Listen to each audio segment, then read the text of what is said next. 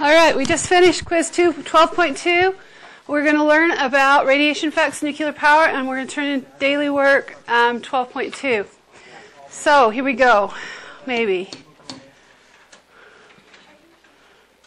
Come on. Okay, radiation exposure in real life. There's a lot of things that go around us all the time that we are exposed to. Radio broadcasts, um, MRIs are down in the radio spectrum. They're actually low energy, believe it or not. X-rays are high energy. Um, cosmic rays, baggage screen. You can sort of see a lot of different things. Visible light, UV light, um, wireless data, microwaves. Um, lots of different things that, that bombard us with radiation. Um, to give you an idea how big these waves are, um, for instance, like an MRI is about the size of a football field. It's a very long wave, not very energetic. But if we get up here to where X-rays are, it's the size of an atom. Okay, yep. All right, so um, go ahead, radi- radiation, no problem. Sterilization. Um, as we look at it, there's several different ways that we can detect radiation. Um, there's what's called a scintillation meter, which is a, just a small meter.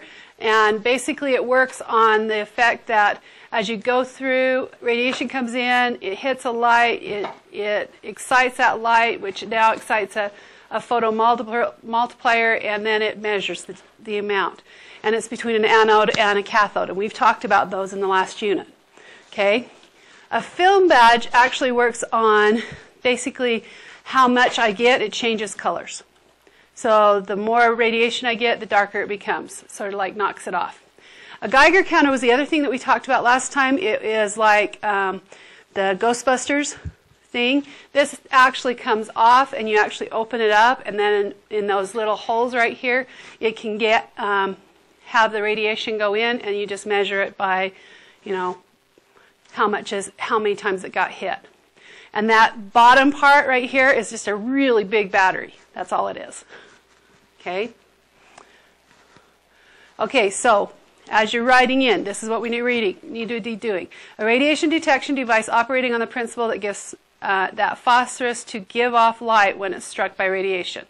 So that's all that's happening there.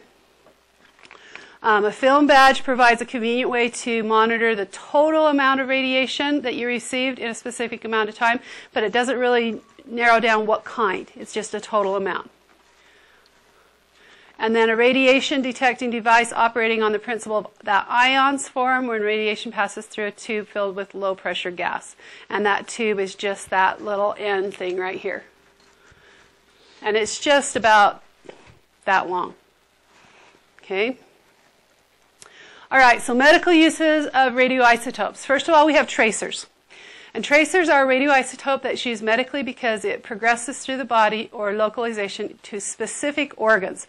And it, it sort of um, pools in that specific organ. Or we can follow it through. Okay? Hot spots are tissue which radioactive concentrate, um, tracers concentrate.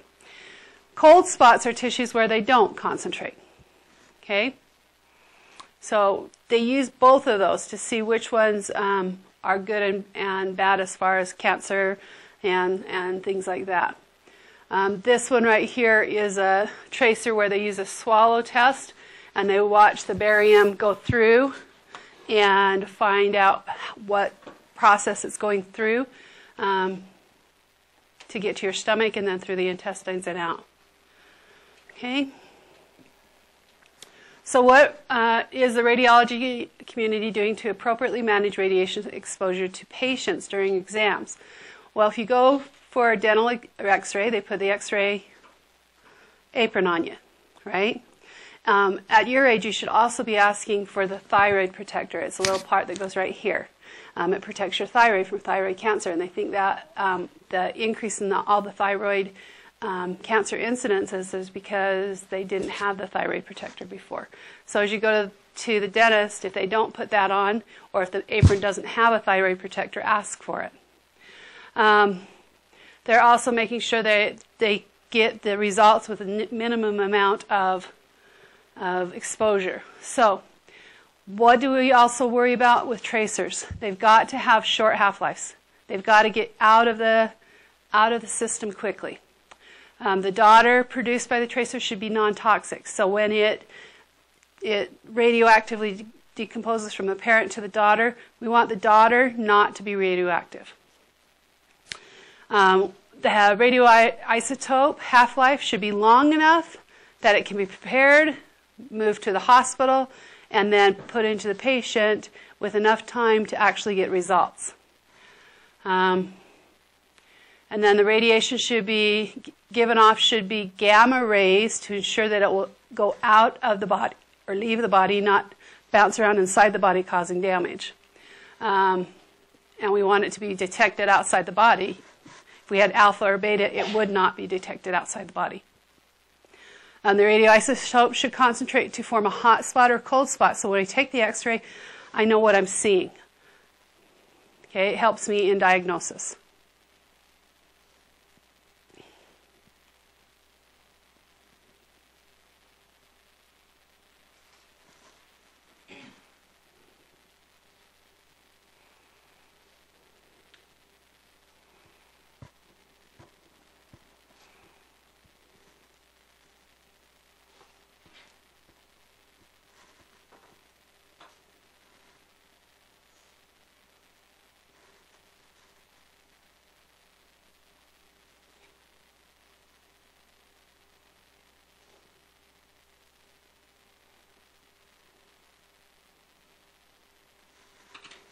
You don't have to put that word for word, you can put it in your own words.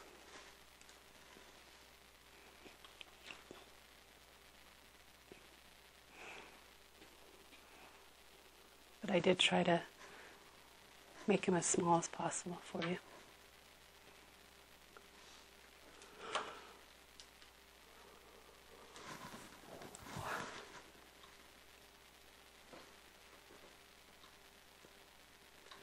It was a fun hour on the freeway this morning with a big wreck right in front of Hillfield. Yeah, I was stuck on the freeway with no exit.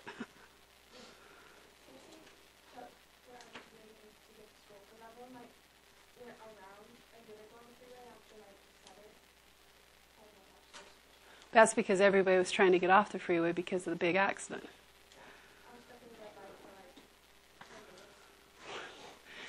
All right, everybody okay? Got it? Okay, going forward, was that a yes?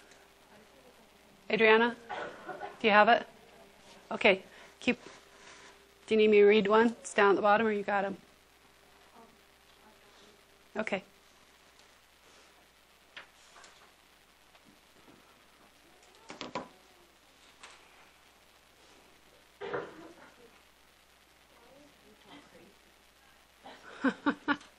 Welcome to spring in Utah. It snows. Yep. We're like a month away from summer, and it's snowing. Yeah. Well, su- official summer isn't like till the middle of June.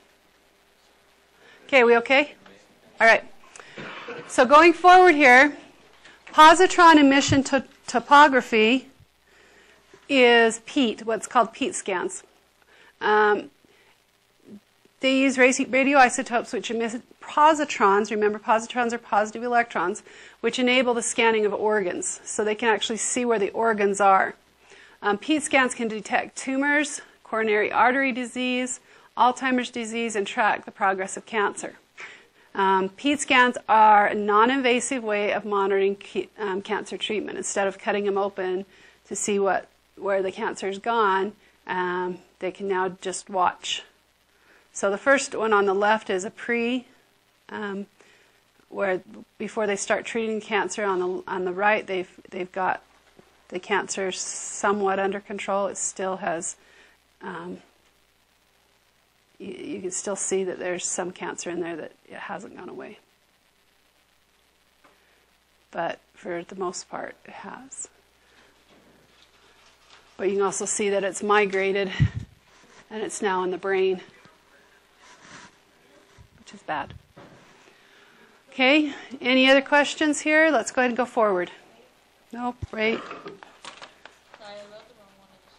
Okay, we got the. Okay.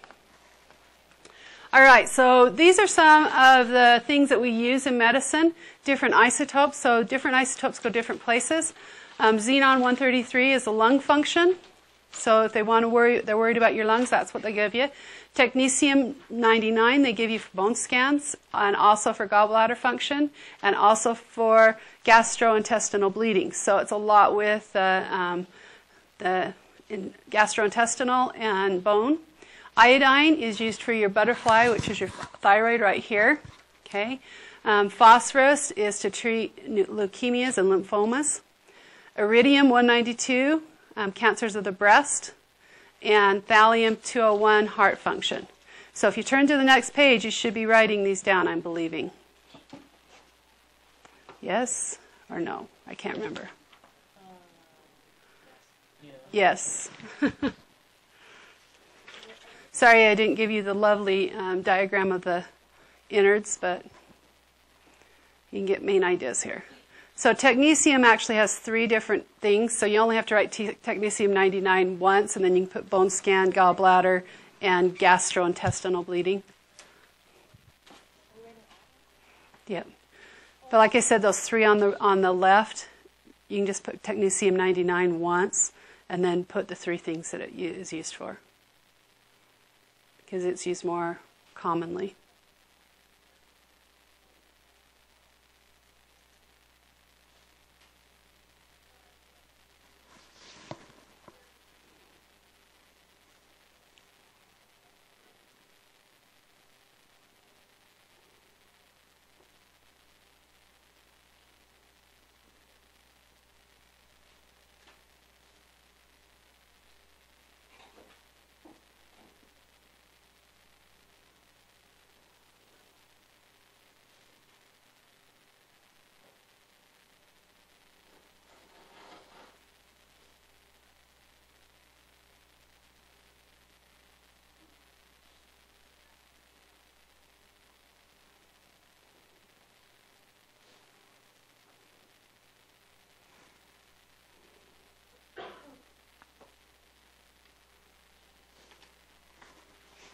You're finishing that, I'll look and see what time because the period today is really weird.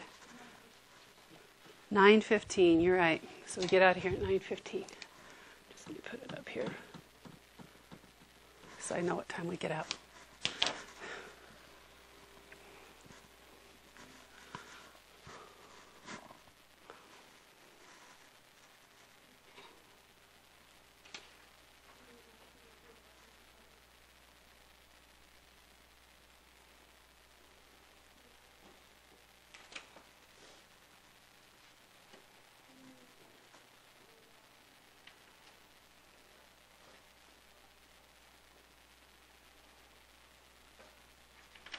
If you need to see any of the bottoms, let me know and I'll read them off to you. Oh, some of you are at a bad angle to see that.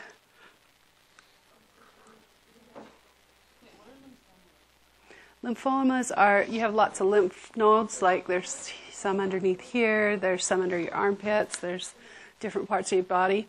Um, so if they get into, the cancers get into those, they start growing.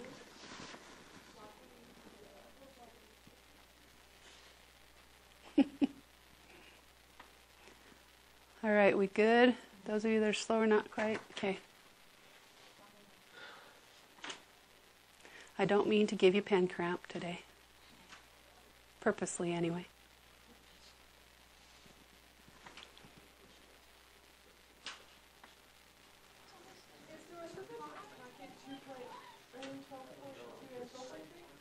Uh-huh. No, it was 12.2 and 12.3. I'll have to figure out when it when we stop when it stops. Okay, ready? No? Thallium 201, heart function. Got it? Okay. All right, so other examples that you could have put down, you don't have to have all of them, you just need to have some. Um, carbon 14 is also used a lot. Carbon 14 is used for dating. We already talked about that last time.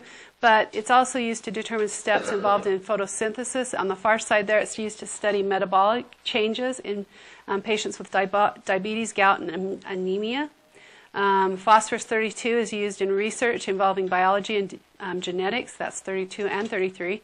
Selenium 75, protein studies and life sciences. Strontium 85, metabolic, how your metabolic system works, and bone formations. Hydrogen 3 or tritium, um, used to study the science, life, science, uh, life science and drug metabolism. Cobalt 60, radiation therapy to prevent cancer. Iodine 131 to locate brain tumors and monitor, monitor cardiac and liver and thyroid activity. Um, they actually have that, so it will report in colors now. Um, carbon 11 is tagged to, onto glucose to monitor organs during a PET scan. Um, and sodium 24 to study blood circulation. They're looking for artery, um, what do you call it, reductions. Um, thallium 201 damage to the heart and detection of tumors. And technetium, we talked about that on the last one. So there's a lot of different ones that they use. Um, I have not listed all of them, and you won't have all of them in your notes. But notice, know that lot, we use a lot of the radioactive isotopes in medical. So, chemistry around us. When we have radon, radon is very common in our area um, because of all the granite. And I told you before, granite is radioactive, and radon is one of the byproducts. Um, it comes in through cracks in, in your basement. And radon is a gas. And the problem is, if that gas builds up, it can cause a lot of problems, a lot of health risk.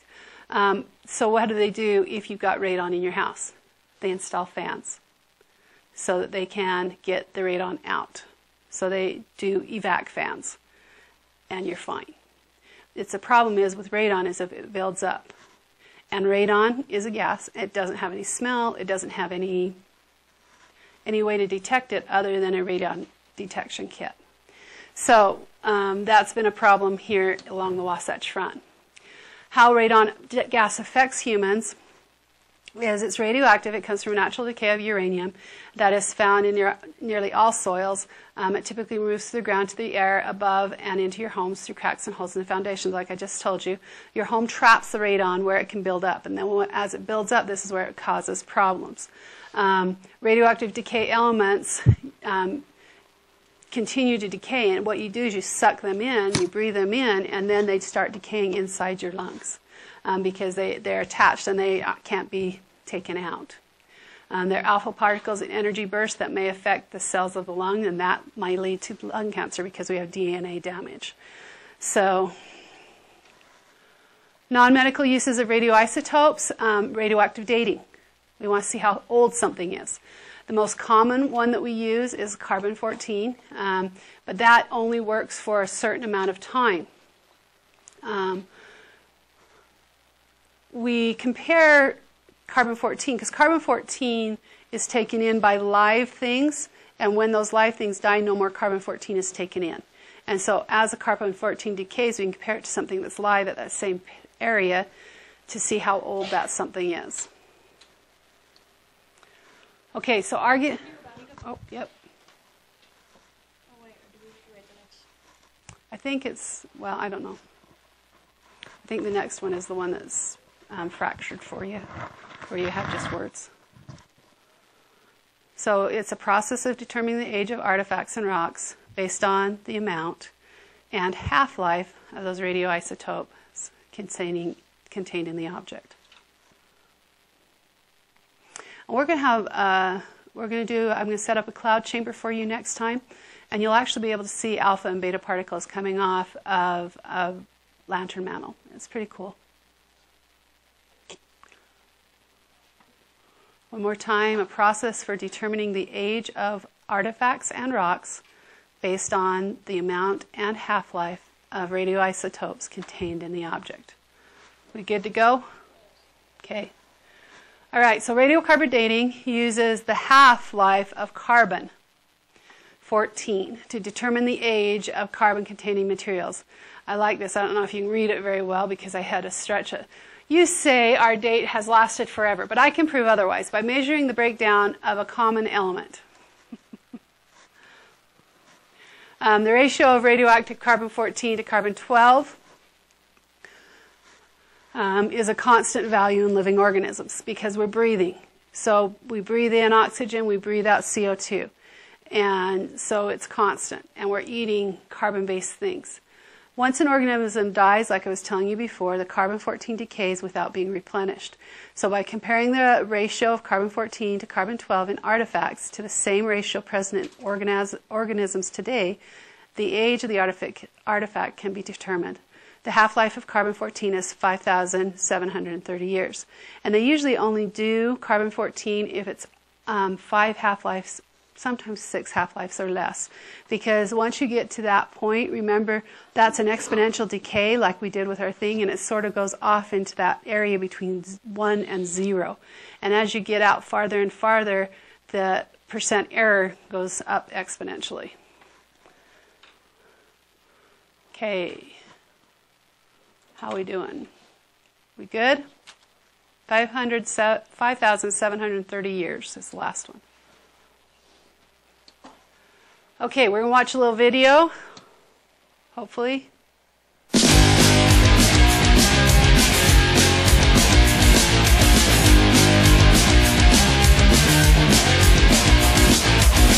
Hi everyone, Cara Santa Maria here. The Earth is 4.54 billion years old. 3.8 billion years ago, the very first life form came into existence. 225 million years ago, dinosaurs came on the scene, and man took his first steps in Africa 200,000 years ago. How do we know this to be true? Science. One of the ways that researchers measure the age of organic material is through carbon-14 dating. In 1960, Willard Libby won a Nobel Prize for developing this technology. See, all living things contain carbon, which has six protons and six neutrons. So in its typical form, we call it carbon-12. But at any given time, there are trace amounts of carbon-14, or C14, in the atmosphere. C14 is a radioactive isotope that's made when cosmic rays bombard nitrogen atoms at high altitudes, converting them into this excited form. When some living things, like plants and algae, make their own food through photosynthesis, they take in carbon dioxide from the air. Trace amounts of C14 make up a tiny percentage of that carbon dioxide, and it's integrated into the tissues of the organism. Then creatures that can't make their own food through photosynthesis, like us, eat the ones that can, and that C14 is taken into our bodies as well. And because there's a consistent quantity of C14 in the atmosphere, there's a constant corresponding quantity of it in the bodies of all living things, at least while they're still alive. C14 is radioactive. That doesn't mean it's dangerous, only that it's unstable. Over time, it decays back into nitrogen. See, when an organism dies, it stops taking in carbon and the C14 in the organism's tissue starts to decay at a precise speed, but the amount of carbon-12 stays the same, since it's not radioactive. We know that it takes 5,730 years for half of the C14 in a sample to decay. It takes another 5,730 years for half of what's left to decay, and so on. This is C14's half-life. All radioactive isotopes have one. And if we compare the amount of C14 in a dead thing to the amount of regular carbon-12, voila, we can find out how old it is. Now, some people who think that the Earth is only 6,000 years old may base their claims on words in the Bible, not measurable evidence. And one ploy they use to cast doubt on radiocarbon dating is to point out its shortcomings. For example, C14 has a relatively short half-life. So anything older than 50,000 years has too little C14 left to make an accurate calculation of its age. But C14 isn't the only radioisotope out there. There are tons of them. If I wanted to find out the age of a dinosaur fossil, I might measure its uranium-235 concentration, which has a half-life of 704 million years. Radioactive isotopes like potassium-40 and rubidium-87 have half-lives in the billions of years. Critics also like to point out that over time, the amount of C14 in the Earth's atmosphere may have varied. But scientists know this, so they make corresponding adjustments to their measurements.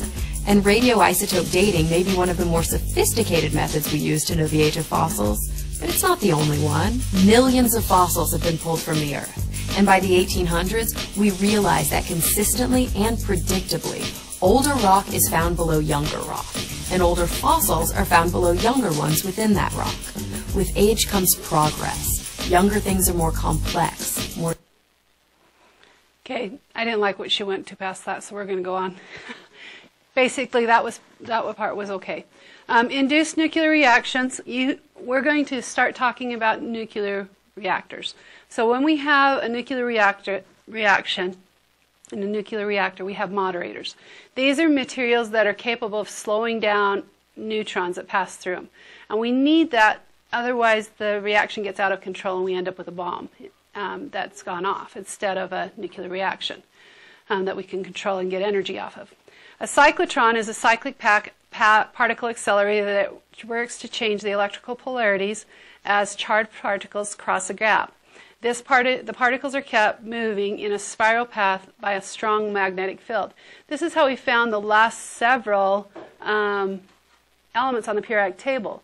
They've actually started working on um, 119, 120, 121, and 122. Um, but they're getting them by using an accelerator, by smashing one element into another element. Some linear accelerators that have been used now in medical are the LINAC. Maybe some of you have heard of that, um, where they can actually accelerate particles through, um, use radiation to kill cancers.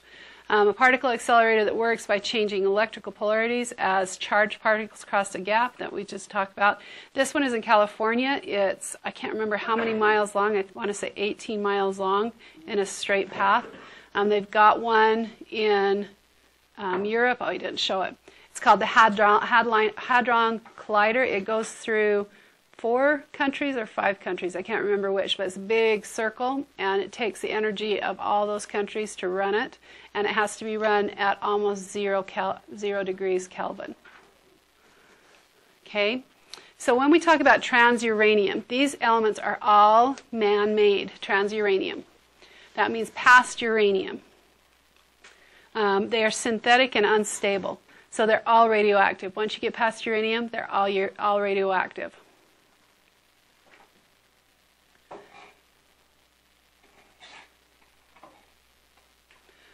Chandra, oh, here, uh, yep.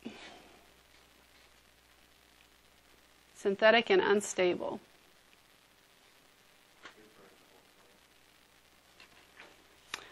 Um, I would just put transuranium elements are synthetic, unstable, and disintegrate quickly. That's what I would write.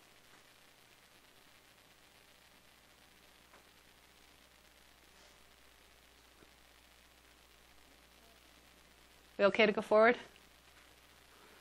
Okay, so this is a Hadron Collider. It actually goes through several countries. Um, it was there was a big stink when they first made it, thinking that when it went online it would cause the end of the world because they said that it would be making antiparticles, which it does, and that the world would collapse, but it hasn't and turn into a black hole. That's what they thought it was it would happen. They actually there was actually a book and a movie made about it um, that said that that it would go into a black hole. Um, but it is a big. This is the inside of it, and this is showing basically what they're seeing at the end. The particles are swirling, and they they hit, and they make a new particle that they're able to see for a certain amount of time. The tunnel is 17 miles long and lay, lies beneath the Swiss and French borders. Um, so it's not, I thought it was four countries. There, I think there's a couple little countries in there, but I'm not sure. Um, and the speed of light smashed them together so scientists can see the resulting debris. And they've been able to see a lot of different particles giving off. Now they know that we already knew, um, besides protons, electrons, and neutrons, each proton is made up of, of smaller parts, and each neutron is made up of smaller parts, and so are the electrons. And so they're just finding more and more. Okay, so what we're going to do next is we're going to talk about nuclear power. And I'm going to have you watch three videos. And I believe in your notes it has you have a place for pros and cons. I want you just to write down your thoughts on each of them. You get to make a decision. Are you pro or con? Um, and we'll go through each of these. There's three videos, though. The first one just is more of an introduction.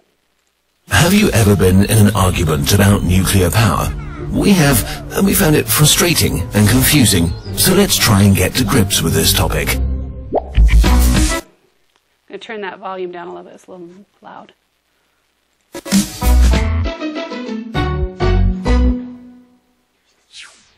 It all started in the 1940s. After the shock and horror of the war and the use of the atomic bomb, nuclear energy promised to be a peaceful spin-off of the new technology, helping the world get back on its feet. Everyone's imagination was running wild. Would electricity become free? Could nuclear power help settle the Antarctic? Would there be nuclear-powered cars, planes, or houses? It seemed that this was just a few years of hard work away. One thing was certain, the future was atomic. Just a few years later, there was a sort of atomic age hangover. As it turned out, nuclear power was very complicated and very expensive. Turning physics into engineering was easy on paper, but hard in real life. Also, private companies thought that nuclear power was much too risky as an investment. Most of them would much rather stick with gas, coal and oil. But there were many people who didn't just want to abandon the promise of the atomic age, an exciting new technology, the prospect of enormously cheap electricity, the prospect of being independent of oil and gas imports, and in some cases, a secret desire to possess atomic weapons provided a strong motivation to keep going. Nuclear power's finest hour finally came in the early 1970s when war in the Middle East caused oil prices to skyrocket worldwide.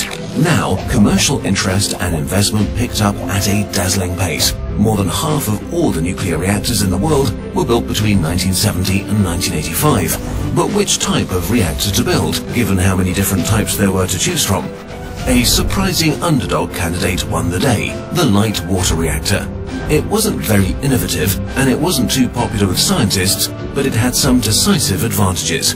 It was there, it worked, and it wasn't terribly expensive. So, what does a light water reactor do? Well, the basic principle is shockingly simple. It heats up water using an artificial chain reaction. Nuclear fission releases several million times more energy than any chemical reaction could. Really heavy elements on the brink of stability, like uranium-235, get bombarded with neutrons. The neutron is absorbed, but the result is unstable. Most of the time, it immediately splits into fast-moving lighter elements, some additional free neutrons, and energy in the form of radiation. The radiation heats the surrounding water, while the neutrons repeat the process with other atoms, releasing more neutrons and radiation in a closely controlled chain reaction.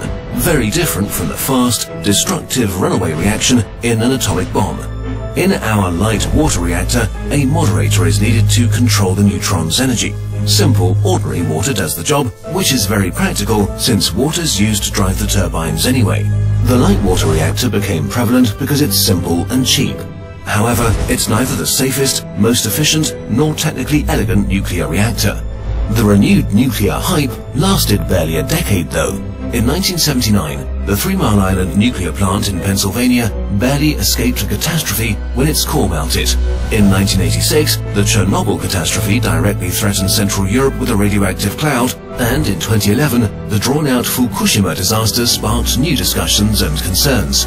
While in the 1980s 218 new nuclear power reactors went live, their number and nuclear's global share of electricity production has stagnated since the end of the 80s. So what's the situation today? Today, nuclear energy meets around 10% of the world's energy demand. There are about 439 nuclear reactors in 31 countries. About 70 new reactors are under construction in 2015, most of them in countries which are growing quickly.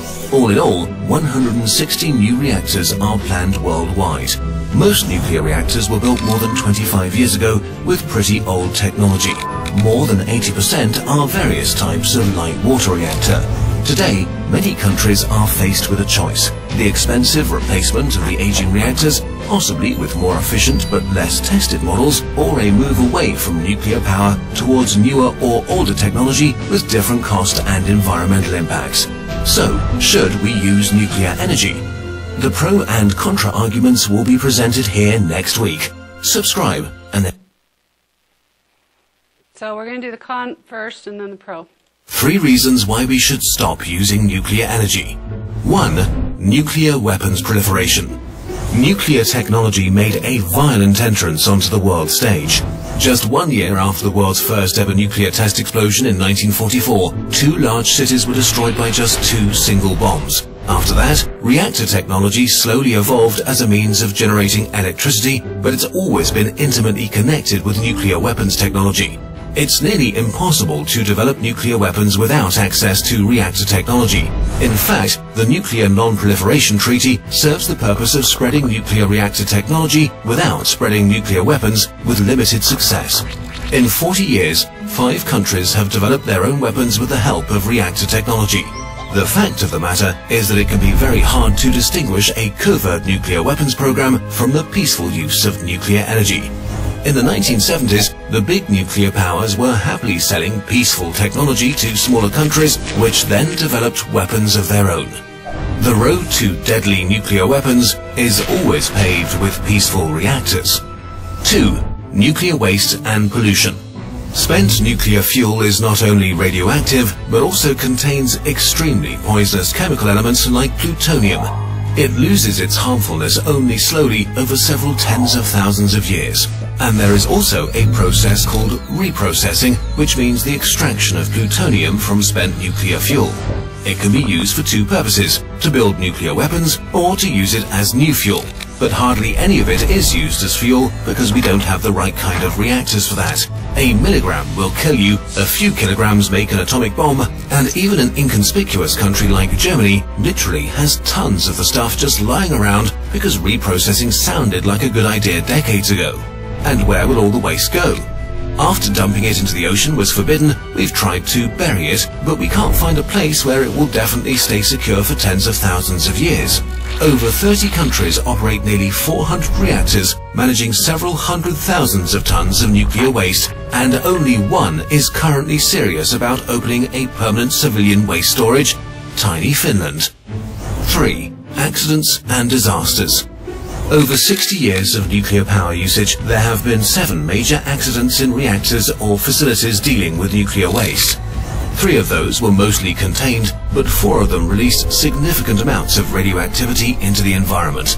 In 1957, 1987 and 2011, large areas of land in Russia, Ukraine and Japan were rendered unfit for human habitation for decades to come. The number of deaths is highly disputed, but probably lies in the thousands. These disasters happened with nuclear reactors of very different types in very different countries and several decades apart. Looking at the numbers, we may as well ask ourselves, are 10% of the world's energy supply worth a devastating disaster every 30 years? Would 30% be worth another Fukushima or Chernobyl somewhere on Earth every 10 years? What area would have to be contaminated so we say no more? Where is the line? So, should we use nuclear energy? The risks may outweigh the benefits, and maybe we should stop looking into this direction and drop this technology for good. If you want to hear the other side of the argument, or a short Here's the other side of the argument. Three reasons why we should continue using nuclear energy. 1. Nuclear energy saves lives. In 2013, a study conducted by NASA found that nuclear energy has prevented around 1.8 million deaths. Even if you include the death tolls from Chernobyl and Fukushima, nuclear energy ranks last in death per energy unit produced. While nuclear waste is really toxic, it's usually stored somewhere, while the toxic byproducts of fossil fuels are pumped into the air we breathe every day. So, just by reducing the amount of fossil fuels burned, countless cases of cancer or lung disease and accidents in coal mines have been avoided. If we can choose between lots of dangerous stuff being put into a deep hole and lots and lots and lots of dangerous stuff being pumped into the atmosphere, the former seems more logical. Nuclear energy feels way more dangerous though. Single catastrophic events burn into our memory, while coal and oil kill silently. It's like the death rate of flying versus driving. Even in the best case scenario, it would take at least 40 years to switch to 100% renewable energy. So for as long as we continue using fossil fuels, nuclear energy will save way more lives than it destroys. 2. Nuclear energy reduces CO2 emissions. Nuclear energy is arguably way less harmful to the environment in terms of climate change than fossil fuels, our main source of energy. Since 1976, about 64 gigatons of greenhouse gas emissions have not been pumped out thanks to nuclear energy. And by the mid-21st century, that could amount to an additional 80 to 240 gigatons. Humanity's energy consumption is rising steadily. According to US government projections, China alone will add the equivalent of a new 600 megawatt coal plant every 10 days for the next 10 years. China already burns 4 billion tons of coal each year. Coal is cheap, relatively abundant, and easy to get to, so it's not likely that humanity will stop using it soon. Nuclear energy might be the only way of dampening the effects of climate change and preventing a catastrophic man-made global warming. Compared to the other things we do, nuclear energy is relatively clean. So even if it is a good idea to quit nuclear energy long term, it might be a good solution for the next hundred years or so compared to the alternatives. 3. New technologies. Maybe technology will solve the problem of nuclear waste and dangerous power plants. The nuclear reactors we've used so far are mostly outdated technology because nuclear innovation stopped in the 1970s. There are models like the thorium reactor that could solve the problem altogether. Thorium is abundant, really hard to turn into nuclear weapons, and up to two orders of magnitude less wasteful than current nuclear reactors. The waste material might also be only dangerous for a few hundred years, in contrast to a couple of thousand years. One ton of thorium is estimated to provide the same amount of energy as 200 tons of uranium or 3.5 million tons of coal. So while we cannot know for sure if alternative nuclear technology will keep its promises, shouldn't we at least do more research before we forego an opportunity to solve lots of humanity's current problems? It might not be an easy challenge, but that hasn't stopped us before. So, should we use nuclear energy? There are risks involved in any great human endeavor, and we have to make an informed decision rather than rely on gut feeling.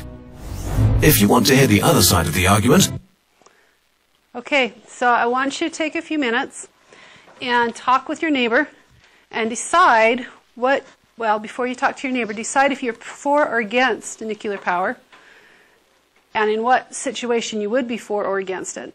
And then we're going to talk to your neighbor and see what side they're on. And then as a class, we're, we're going to have a debate real quick. Okay? So take two or three minutes, do that. That means talk.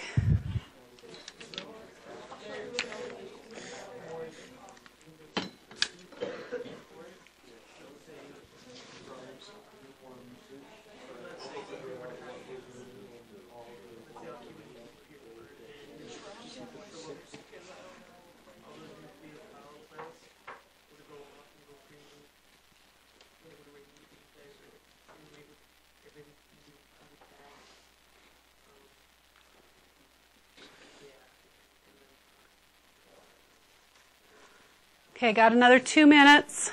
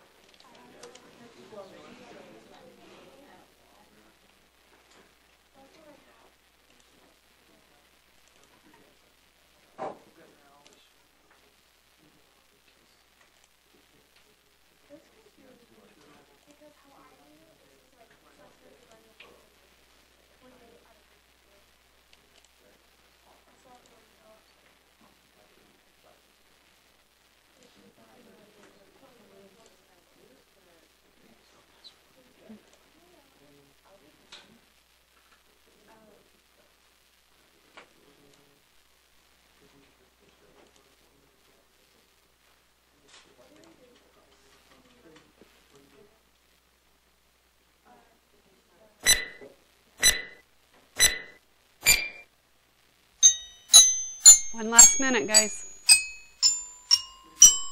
It's a one minute timer.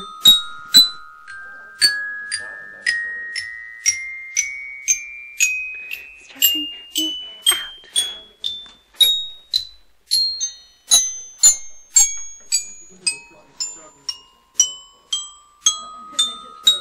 I quit him.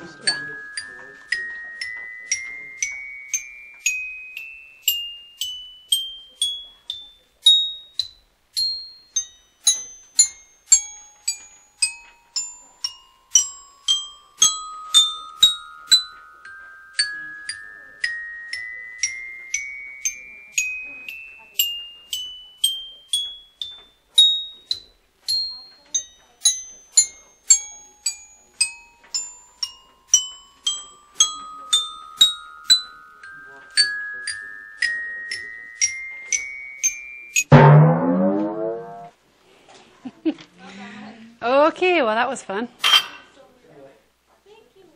Thank you for Mike, right more often. Uh, think not. Okay, so what I'd like you to do, just to give us a little break, I want you to, to choose a side. Over here is for, over here is against. Get up and move. Boys, we already know my answer. I'm just kidding. So four by the periodic table, against by the door. Once you get there, I want you to choose a spokesman or spokeswoman to defend your position. The rest of you are going to have to help in the background. Nope, you got to make you got to choose a side. For or against. Okay, talk to each other, decide a spokesperson, and they're going to defend your position. And you better talk about the the position you have.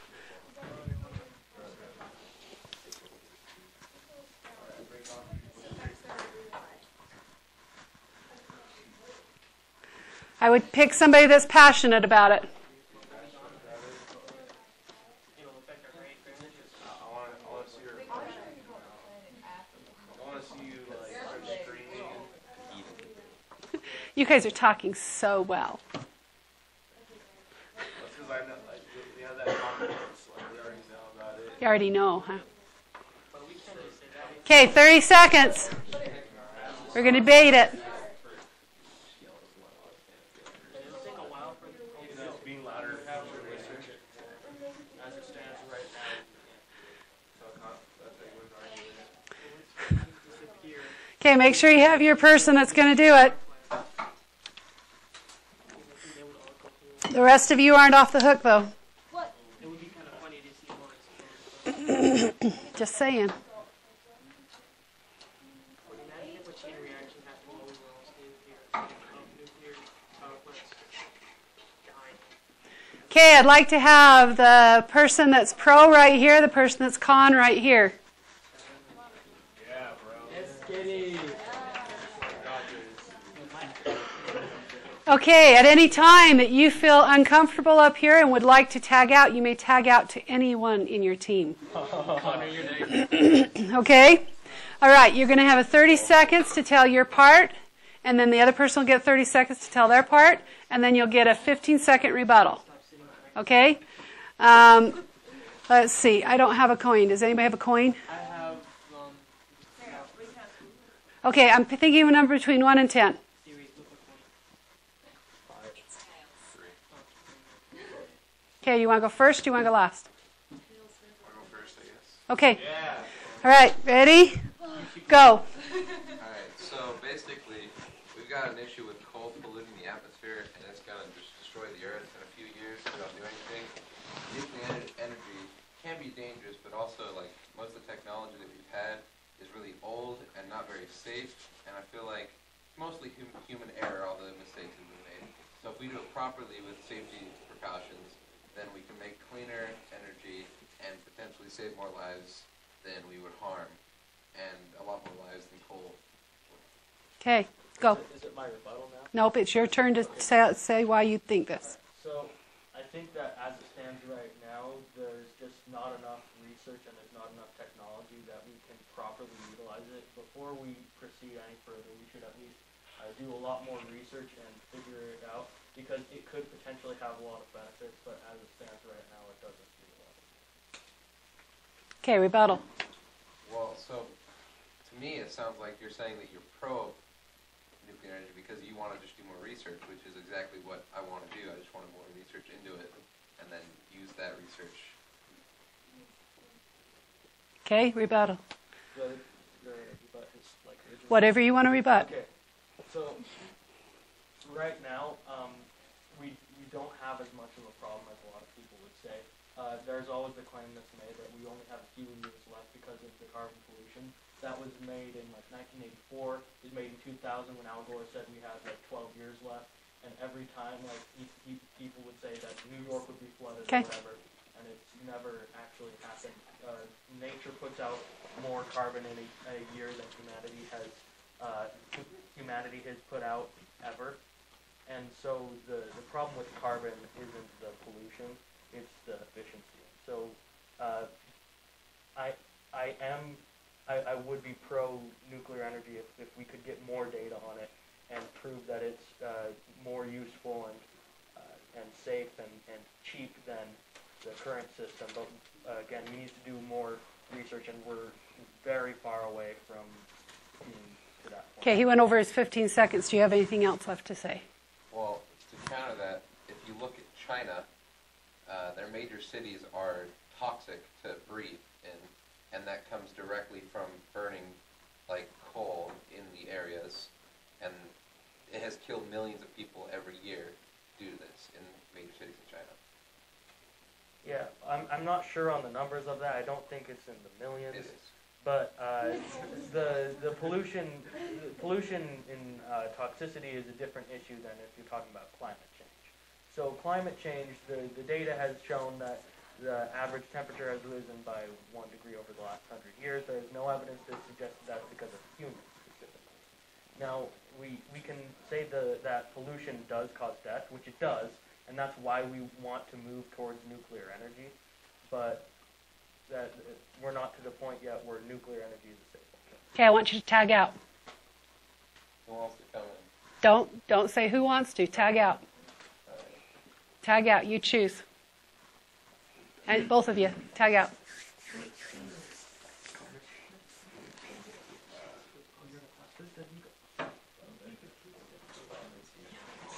Go go go.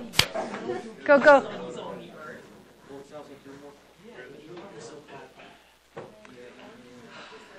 Okay. okay, one last rebuttal. One last rebuttal. Go. What? 15 seconds. Go. Anything else you want to say about what was said? I kind of wasn't listening. Oh. No, I, mean, I was, but I was also trying to think about something to say. Okay. Can I tag out? Not until you say I something. think Connor wants to go.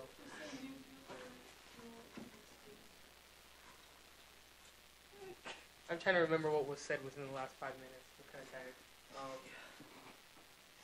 yeah, I'll just. See, I'm poo him. wow. Well, um, kind of like what he said.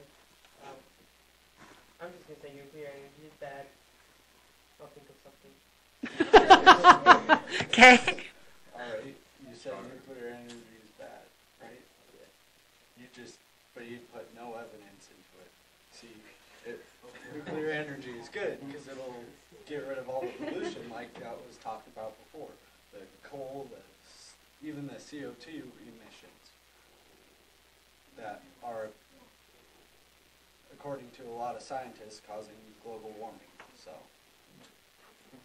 You know, point there, but then with um, nuclear energy, you know, there's been a lot of accidents and disasters like we've uh, seen on the TV.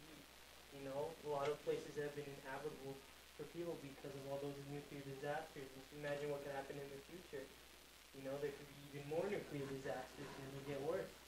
And also, a lot of people and countries are using nuclear energy um, to create weapons such as North Korea, it's, it's the rocket guy, and whatever his name is, Kim Jong rocket. Um, he said that he's gonna stop using, like, or that he's trying to destroy these areas where they're making them. Yet he's coming out even more with more energy, with more weapons. And imagine what will happen in the future within the next couple of years. Especially with our president, he isn't smart. You know what? I'm sorry, but like, he hasn't said some. He hasn't. He's done some good. This is But- nuclear, not political. yeah, let's not go But you can political. Take this on a political level. Oh, yeah, well, it's very political, but it's not political in here. What if something wrong is said about someone, and then we're gonna have a big war, and if we were going to nuclear holocaust, we wouldn't last a few weeks. Okay, tag out one more time. Tag out one more time.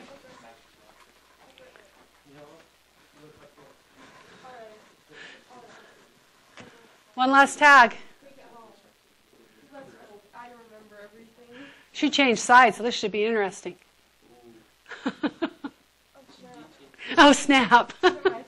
Okay, whoever wants to go first. Okay, I'll go first. okay, so um, the nuclear business, the nuclear power business is really risky because not very many people want to go in it because the um, the like product of the business is not good. Obviously, like he said, we're putting money into these weapons that could blow up our world in like seconds when we can be putting the money into other things. It also is creating a lot of nuclear waste that's just being put in places causing more pollution. I feel like if we begin to use nuclear energy more, we will learn more about it, and therefore it will become safer for us to use, and in the long run, save the entire planet. I feel like. Okay. Yeah, you can rebut. Okay, I feel like we're getting enough power already through natural resources like water and electricity and other things, and so our um, we shouldn't be putting this like harmful substance into a powerhouse that we can like get out of. I guess is what I was saying. Yes, but we can't use water for every source of energy as like a lot of our renewable sources of energy can't be used for everything. So Why not? because we haven't come up with the knowledge to be able to use that for that yet. But we don't have enough knowledge for nuclear power either. But But everyone's saying that the data we We've been- we've- research is not enough. we've been using those sources of energy for years and years, and we still don't have enough knowledge to use it for everything. So why not try something that we could possibly be able to use for everything someday in the future? And Okay, I'm gonna I'm gonna go ahead and let it stop. God, it's getting heated. Okay, so One more, one more, one more. You want to do one more? Yeah. Do you guys want to do one more? Okay. All right. All right. Tag out one more time. I just don't want it to get too heated. We're about to win the war. You're about to win the war. Okay. Don't look at them. Yeah. Okay. So you mentioned that we we uh, we need to start using it more, but we have been using it for like almost 40, 50 years, uh, it, and we've been using it to like some extent. It was said in the video. It use, it makes up 10% of our energy already. So we do know uh, what its effects are at a very small level, but we don't know enough to do it safely, and uh, especially because all of the people who know what they're doing are, are working at the cores, and they're the ones who are killed when uh, when disasters happen. So when disasters happen, they're killing off the people who know what they're doing. and That's the problem. No.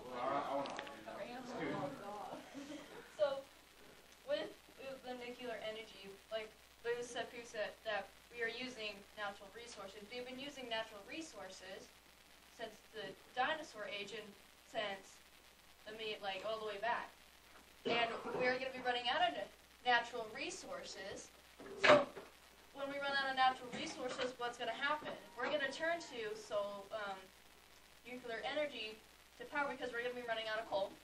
We're going to be running out of oil, and even though we do have solar, nuclear energy is probably going to be our go-to. But if we do start using it more often, we can learn about it, do research, and make it safer for the populace to use, so that way we don't have a meltdown that can cause a bunch of freaking health problems. Yeah, so there's some problems. So first of all, uh, we we don't we don't know exactly how much oil and coal there is left in the world, but I, we're not close to using it all up. Uh, that it will happen eventually. You're right, but we've got enough time to at least do a lot more research safely. Um, and not to mention there are way more other alternative energy sources than just nuclear fuel. Uh, there is there's solar and there's wind and there's water and there's uh, people are starting to look like, different ways to generate electricity without using atomic uh, energy. And so atomic energy, like we don't have to start using it right away for it to be uh, for for us to learn more about it. We can uh, still use other energies to, to prevent us from running out of fossil fuels and stuff. Um, and yeah, like we don't we we're not running out anytime soon. We've got plenty of time to do more research before we make any decisions. Okay, I'm going to stop it here. Thank you for everyone that participated. Go ahead and get back to your seat. I want you to take a minute and write down what you think at this point, and then I'm going to say a few more words. Mr. Ashcraft, did you need something? Okay, all right. Okay. So take a few minutes, write down what you think. What you think. That's okay. If you want to add to it, add to it. I'm going to give you about a minute, and then I'm going to talk to you a little bit.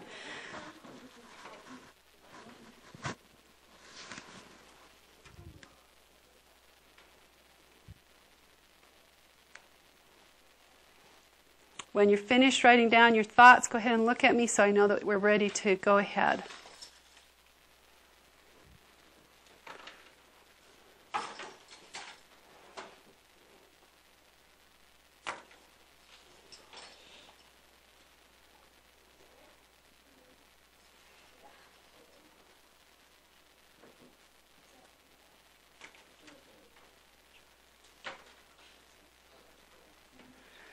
Okay, looks like most are, are ready.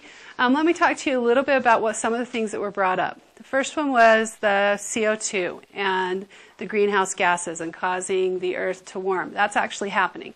And the more CO2 that is put out, we're losing glaciers, we're losing all these things. And scientists are starting to ra- raise the alarm. If we keep using coal and fossil fuel, the CO2 gases will get higher and higher, will get hotter and hotter. Our cycles of winter, summer, spring, that kind of thing that we have around here are going to change. If they change, then our growth periods are going to change, and other things can change. Um, our um, in the Ar- Antarctic right now, there is a shrinking of the um, polar ice caps, and that's where the sills and the ocean life depend on those ocean, those ice caps to have their babies and keep safe from wells and things like that. So there's a lot of things that are going on that are changing, and and you know ecocycles. If you've been through biology, you know if one of the things is missing, sometimes it can adapt, and sometimes it can't. So that's a problem. Gas, coal, oil cause the problem, right? Okay. So looking at the other side, I'm not telling you I'm pro or against. Okay, I'm just going to give you some more facts. So that's a problem. We know we have that problem. Okay? We use gas, coal, and oil a lot. Okay? We're dependent on it. And when that happened in the 1970s, where the we had the oil crisis and and people were lined up for long periods of, of you probably don't remember because you probably weren't even alive, but they were lined up to get a gallon of gas for a long ways, and you had to pay for it. And then all of a sudden we got more fuel efficient cars. We, you know, it forced us to go forward in technology. What's happened with nuclear is that technology's sort of been stagnant because we haven't used it um, to the point where we could because we haven't had the investors. Remember it talking about needing investors? Well, you need money in order to do research. It's just like cancer. You know, if they want to do cancer research, they got to raise money to do that kind of thing. Same thing with nuclear.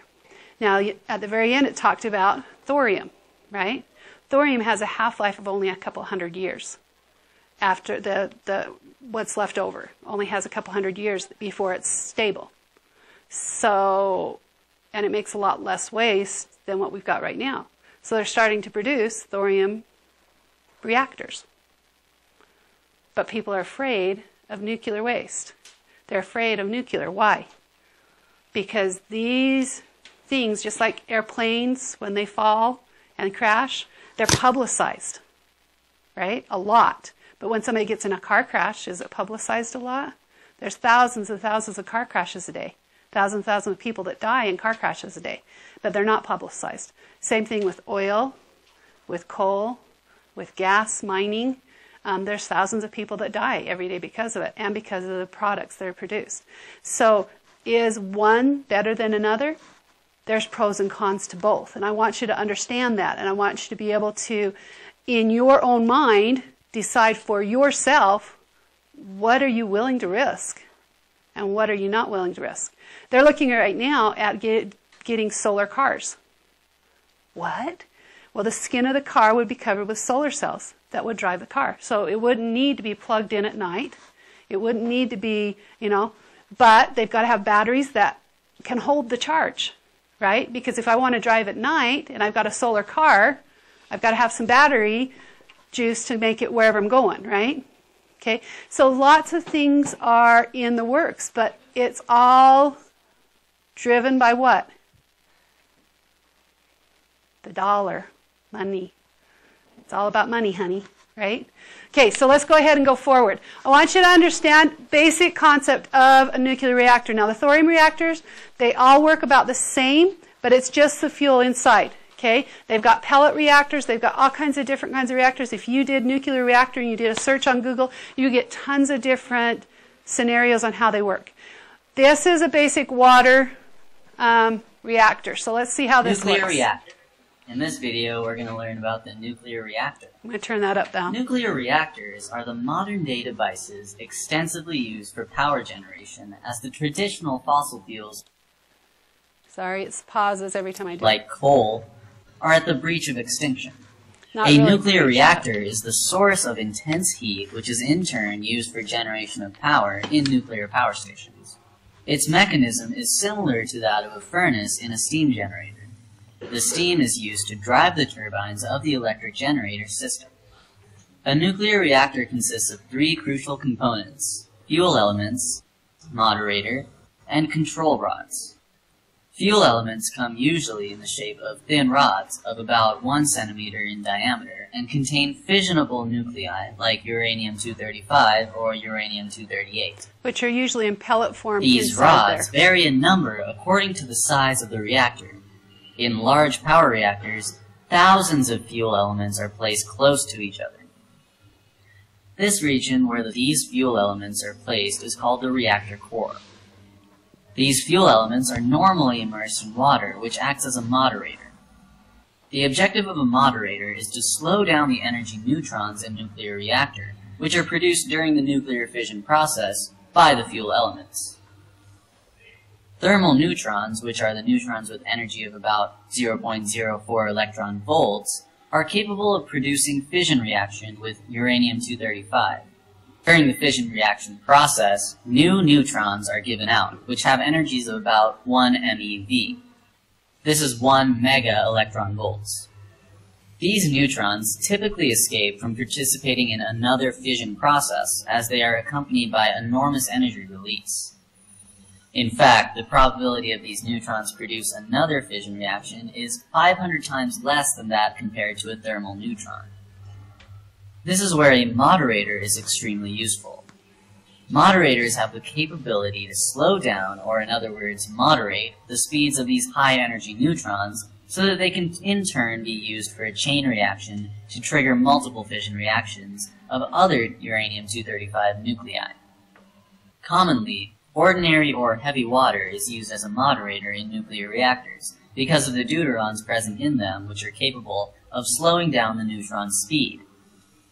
Water molecules in the moderator are useful in slowing down the high energy neutrons which leave the fuel element after nuclear fission.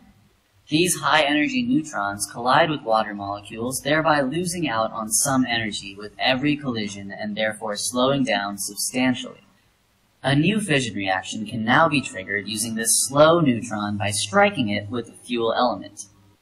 The third and most prominent part of a nuclear reactor are the control rods. In order to get a steady output of energy from the nuclear reactor, every single fission reaction should trigger another fission reaction and ensure the availability of spare neutrons released to trigger the chain reactions. By controlling the number of spare neutrons available at any given time, the rate of nuclear fission chain reactions can be controlled. This control on the fission reaction can be maintained using control rods. The main function of the control rods is to absorb any excess or spare neutron in the moderator in order to prevent any further fission reactions. Usually, such control rods are made of boron or cadmium.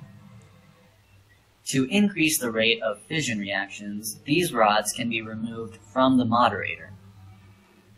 A steady output of energy can thus be maintained by inserting or removing the control rods in the nuclear reactor. Now that we know the components of a nuclear reactor, let's understand the working of a nuclear reactor. It's usually enclosed in a shield made of thick concrete walls. It consists of a reactor core, pump, and heat exchanger. The reactor core and pump are placed in contact with the water, which is usually the heat exchanger in these reactors. Due to the enormous amount of heat released during the fusion reaction, the surrounding water gets heated up and changes to steam, which is in turn used to turn the turbines. So, huge heat energy gets converted into electrical energy. Water is continuously flown in and out of the nuclear reactor using the pump. So, a nuclear reactor successfully generates nuclear energy from fission reaction. So the, you'll notice the pumps are extremely important. The pumps are what went down in Chernobyl. They turned them off to see if they were working. Don't ask me why. Um, they also are some of the areas where we can have problems. Notice that there's basically three systems. Um, you have the reactor core. It is its own system. It never comes directly in contact with the heat exchange. It goes through it, but it's not actually the water inside the reactor core is not actually in the heat exchange. This right here goes out to what you know you mostly see as the big um, cooling towers that everybody says is the nuclear power plant. You know what I was talking about? Um, those are actually just big cooling towers where they take this hot water out and cool it down and then send it back in to be heated up again. Okay? So we need to know, understand a couple things. And they are in nuclear energy, we have fission reactions. Fission reactions are when we split into smaller parts. So we're going to break it apart, and they're going to be about the same size when we break it apart. So two basically equal parts. And that happens when we bombard something with, with neutrons. Bombard means what side of the reaction? Reactants or products? Remember that from last time? Bombard comes from, if I'm going to be bombard or capture, it goes on the reactant side. Okay? A chain reaction is what they were talking about inside the nuclear core. So if a chain reaction starts, if we don't moderate or stop some of these neutrons, it's going to keep exploding, exploding, exploding out. Then we get a nuclear bomb. Okay? Because it's out of control. We've got way too many neutrons. Okay, so a nuclear chain reaction in which the product of one keeps repeating and repeating. It's sort of like a genealogy ch- chart if you've ever done one of those. It just keeps growing and growing and growing. It doesn't go back down.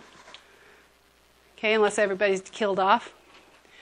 So, an expanding or branching chain reaction, a critical reaction is a constant chain um, reaction. So I I have taken care of these neutrons and I just keep going forward with the same amount. That's what they were talking about with the control rod. So if I remove the control rods, then I end up with an expanding one. Okay? Um, to control the, the chain reaction, I put a, a control rod in. Okay? So if I have um, just a, there we go, constant rate. We all right? Going forward? Wait. Okay. All right, so supercritical reaction refers to the system where the production rate of neutrons is greater than the loss of neutrons, and therefore the neutron population increases. And if we have an increase of population of neutrons, if we don't stop controlling it, we end up with our expanding chain reaction.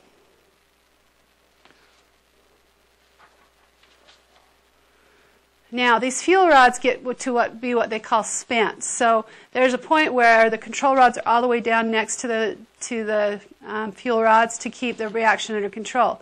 But after a while, the fuel starts to become spent. They pull the control rods out and out to keep the reaction steady. And there's a point where the control rods are all the way out and the reaction starts to slow down. They've got to take those fuel rods out and, and re replenish them with new fuel rods. That's what they were saying about recycling them. There's still stuff that's radioactive in it, but it's not enough to keep heat the water to keep it going to steam enough. Okay? We're going forward, maybe. Okay, so critical mass, this is the minimum amount of fissional fissionable material that's needed to sustain a critical chain reaction. This is what I was talking about with a constant rate. So we've got to have a specific amount in there. Supercritical mass is the minimum, minimum amount of fissionable material that must be present to cause branching chain reaction to occur. So it, growing chain reaction, in other words.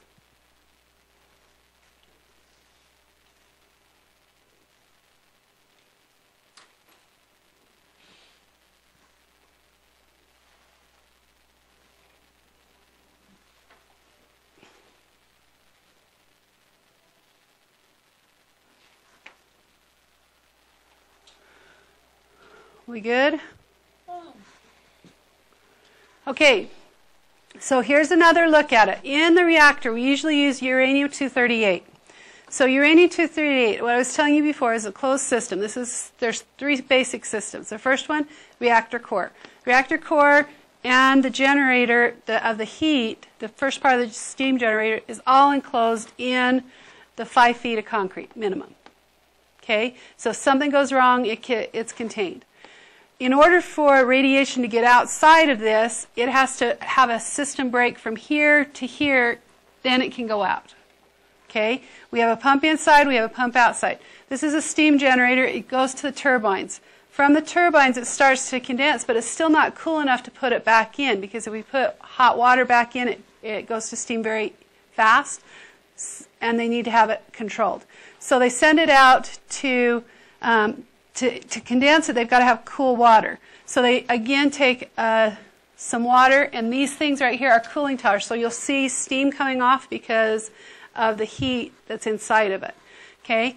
Um, the first reactors that they did, they, they made sure they were near a reservoir or some lake, but they found that by doing that, it was actually raising the temperature of the reservoir or lake, and what was a good trout stream now went to a bass stream. And they don't do that anymore. They just reuse the water. Okay? So this is what would happen. This would be my parent. This is a daughter. The daughter then comes down here and decays to neptunium, which then decays. So this is this is what we call a chain reaction. Okay, it keeps decaying. We now have plutonium 239 and plutonium 239 gets hit by a neutron and we end up with barium and strontium and two other neutrons. So it's a chain reaction that keeps going and going and going. It just doesn't stop at one decay. Um, we end up getting a lot of different things. And I think that's the last one on that. Yep. Yeah, I sorry. I just wanted to make sure that was the last one that was showing.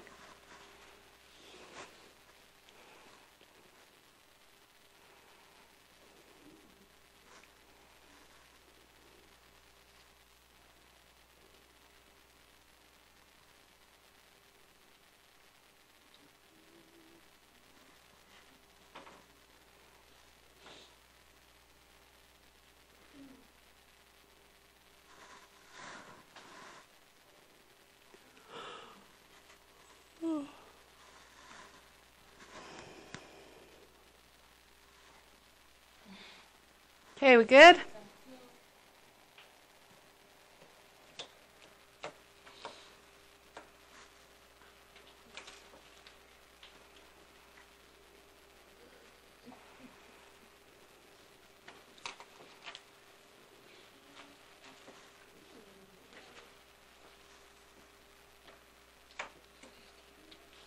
Ready? Okay. All right, so nuclear fusion, instead of fission, like it's taking it apart, fusion is putting it together. So nuclear fusion requires very, very high temperatures to start, very, very high accelerations to fuse things. That's how they've got the last ones, but they've had to hold it at a minus, uh, you know, something Celsius, which is basically close to 273 Celsius, um, to zero Kelvin, um, in order to do that. But they've been doing it with one atom. Okay, but it's causing it to, to fuse. A few years ago, University of Utah came out and said, "Oh, we've come up with cold fusion." Uh, it was proven unsuccessful. Um, they weren't able to replicate it. So, what is nuclear fusion? This is a joining together of two or more light nuclei to form larger nuclei. Um, so, we've got hydrogen or deuterium and hydrogen 3 tritium undergo fusion to create helium. And a neutron. A neutron and a large amount of energy also are produced. Um, fusion is not currently usable as an energy source because it has to be done at very high temperatures and pressures. And only way we've been able to do a large amount of it is in a nuclear bomb, and that's not controllable. Okay?